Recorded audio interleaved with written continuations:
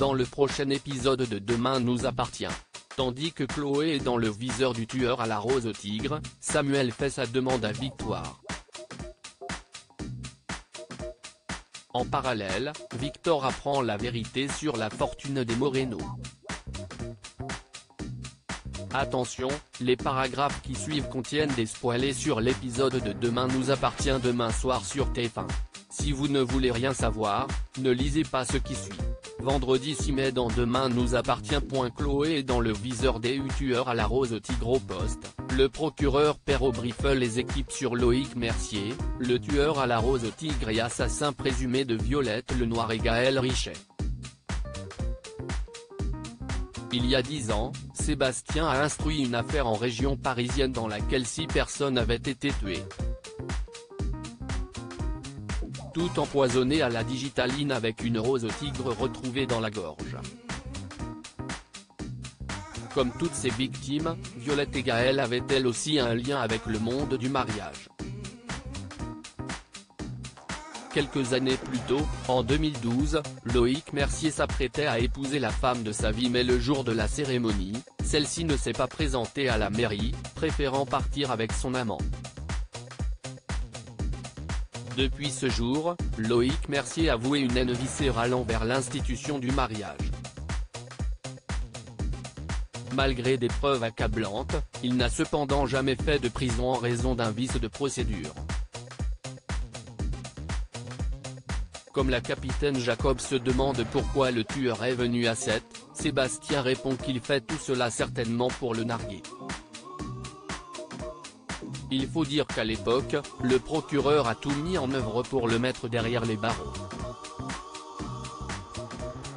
Le tueur à la rose au tigre serait donc venu dans la petite Venise du Languedoc pour régler ses comptes avec lui. De son côté, Chloé a l'impression de vivre le même cauchemar qu'avec Marc Véry, le célèbre tueur aux alliances. Un sentiment partagé par Bart qui hésite à reporter le mariage. Si elle est touchée par la mort de ces deux femmes, Louise n'a pas pour autant envie de céder à la panique et qu'un malade les terrorise au point de les empêcher de vivre.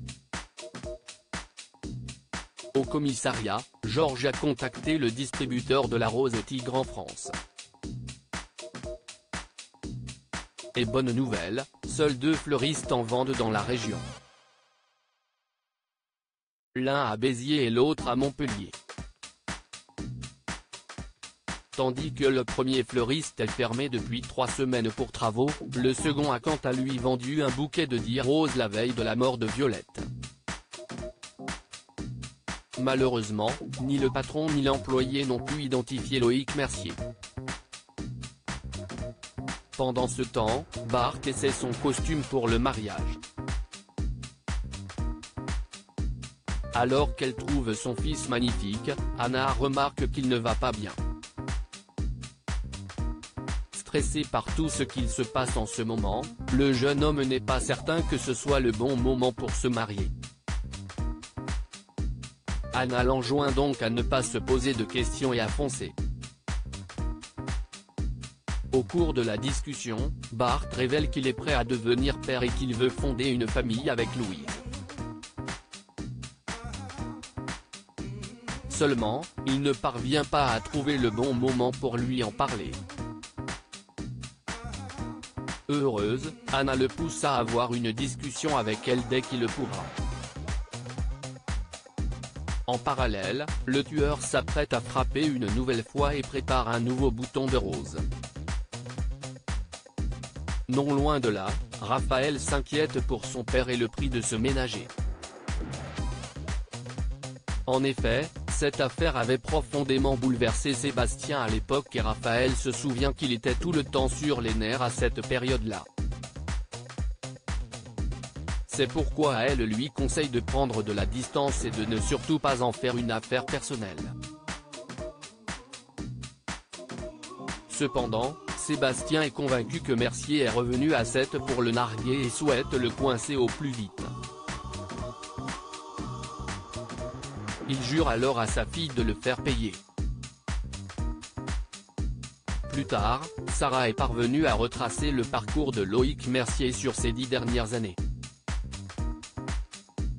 D'après ses recherches, il a déménagé une bonne dizaine de fois et sa dernière adresse en date se situait à Quimper. De plus, la police a retrouvé son véhicule abandonné aux abords de Montpellier quelques jours plus tôt. Il ne fait désormais plus aucun doute que Mercier est l'homme qu'il recherche. Dans la mesure où il pourrait frapper à n'importe quel moment, Sébastien somme ses équipes de lui mettre le grappin dessus aussi vite que possible. À plusieurs kilomètres, Chloé appelle son mari et le remercie pour la carafe de vin qu'elle a retrouvée dans le salon. Cependant, Alex ne comprend pas de quoi elle parle. Chloé se sert alors un verre et s'apprête à le boire. Samuel faisait sa demande à Victoire Samuel et Victoire prennent le petit déjeuner au lit.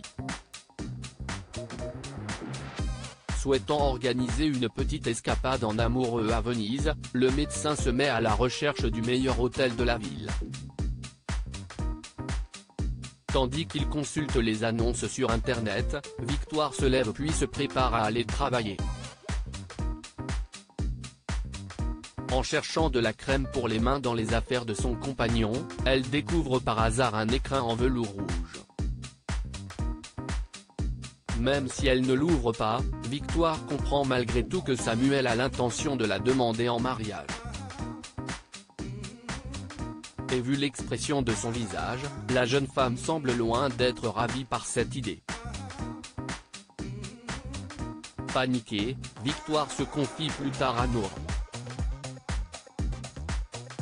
En effet, elle est certaine que son compagnon va la demander en mariage. Or, Victoire n'en a aucune envie. Bien qu'elle soit très amoureuse, elle désire garder son indépendance. De son côté, Samuel est particulièrement anxieux.